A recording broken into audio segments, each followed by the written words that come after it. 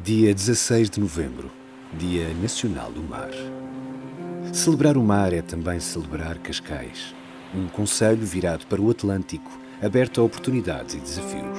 O mar como bandeira estratégica. Trazer a nós a sua energia, a sua força e vitalidade. Motor da economia do futuro, azul e sustentável. Cascais abraça-o. Promove uma relação direita e estreita.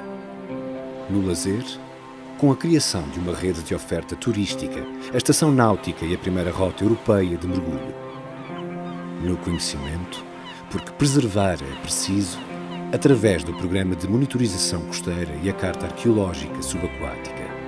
Mas também na inovação e nas parcerias, com a Blue Bio Alliance, uma plataforma nacional sediada em Cascais que reúne empresas da economia do mar. Sabemos olhar e cuidar do mar na educação e na participação de todos os cidadãos, para que um futuro comum seja uma realidade presente. Como sou exemplo o programa Oceano, Literacia Azul para 22 escolas públicas e cerca de 2 mil alunos. E o desafio de criar o Conselho Municipal do Mar. O nosso objetivo aproximar os cidadãos dos processos de decisão. Mais proximidade, mais conhecimento, melhor ordenamento para viver bem o nosso mar.